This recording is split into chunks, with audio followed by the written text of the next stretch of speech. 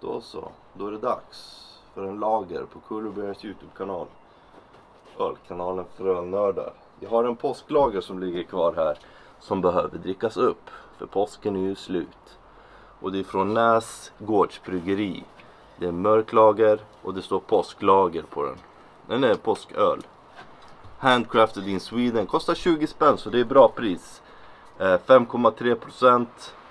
Eh, bäst före 23, 11, 20, 23. Så 20 spänn för en eh, gårdsöl, det tycker jag är bra pris. De behöver inte eh, överdriva med priser när man ska göra en bra öl. Det står så här, Näs påsköl är en lageröl bryggd med rostad choklad och karamellmalt. Som ger ölet en mörk härlig färg med en lätt knäckig ton. Ett öl med fyllig smak, en aning sötma med viss beska passar utmärkt till påskbordet eller som sällskapsdryck.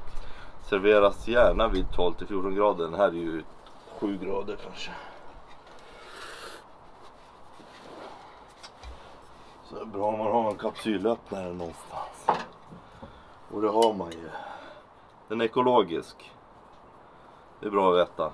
Ekologi. Ekologi är bra för uh, din kropp. Då är min fråga till er, kan eh, alkohol vara ekologiskt? Så. Nej, det kanske det inte kan, men eh, det spelar väl ingen roll där. Men malten kan vara det. Men kan vattnet vara ekologiskt?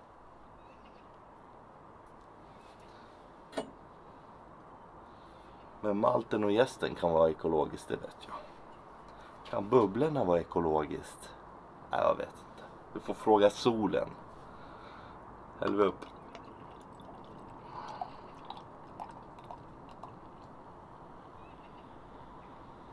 Dunder.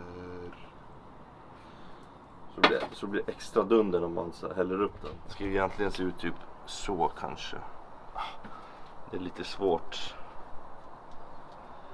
Ja, det är svårt att få in en bra färg men kom och sätt dig här. Hoppa upp. Sätt dig vid pappsan. Ja, och så puss puss. Ja. En lite kärlek. Då så, vi har hällt upp där och doftar. Lite russin. Lite lättkryddigt. Jag känner att den är lite sur, lite citrustoner. Ganska mycket citrustoner. Surig. Ja, syrlig. Knäck. Vörtig. Vi dricker in, skål.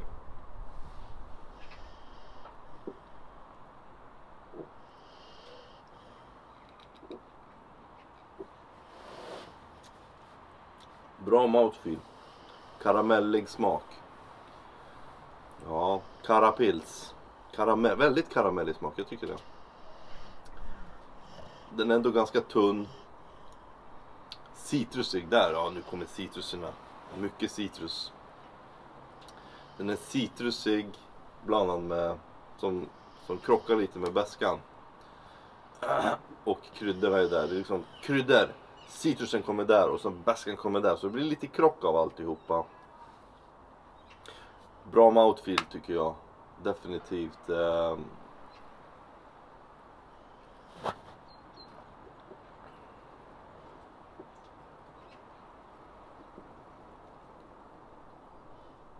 dricks bra. Medelfyllig ändå. Lätt medelfyllig så här. Men det, det krockar någonting med smakerna. De krockar.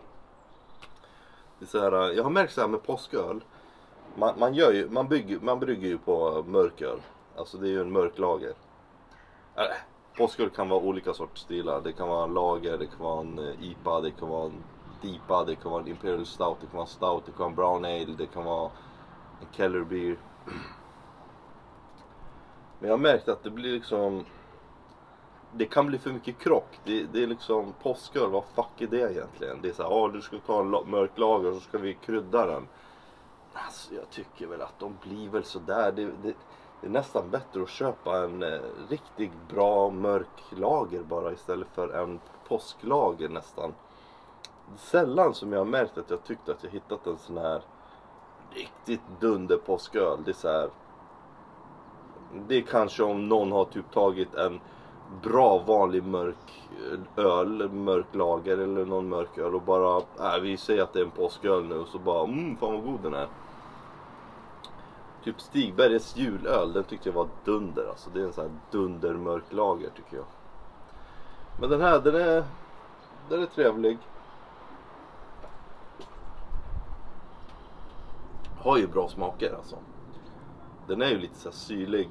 Det är så här syrlig på tungan. Den här, den här passar bra till fet mat majonnäs, ägg, kaviar, sill och potatis, gräddfil och gräslök. Eh, eller korv. Den här passar bra till korv.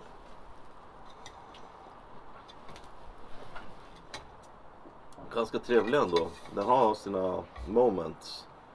Um, har en lite sån här läskande Coca-Cola karaktär. Ja, men, men den är helt okej. Okay. Tycker att den är helt okej. Okay.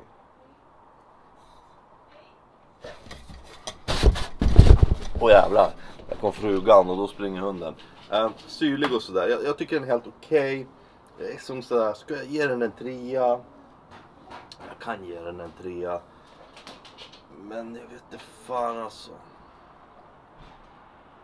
Nej, 2,75. Det, det är ingenting dåligt men kanske inte bara min form av påsköl kanske. Den är lite för sur och det kommer liksom attacker från olika håll. Eh. Men jag tyckte väldigt mycket om mouthfeelen och karamellen. Den, den, den är, den är sparan. Som en mörk lager så är den perfekt. Men sen så att den är så citrusig, lite sur. Det känns som en sån här, så här medel... Alltså så här. Någon som inte dricker så mycket öl. Jag dricker väldigt mycket öl så jag vill gärna ha mer sensation. Det här är mer så här. Ja, ni har bryggt en eh, bra mörk lager. Där har ni den. Men jag vill ha någonting mer.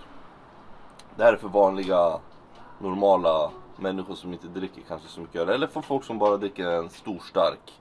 Eller folk som dricker typ Sofieror och Norrlands guld dagligen. Då kommer de tycka den här är nice. Eh, men 2,75 får den utav mig så godkänt plus. Tack för att ni tittade. Ha det bra där hemma så ses vi igen. Skål!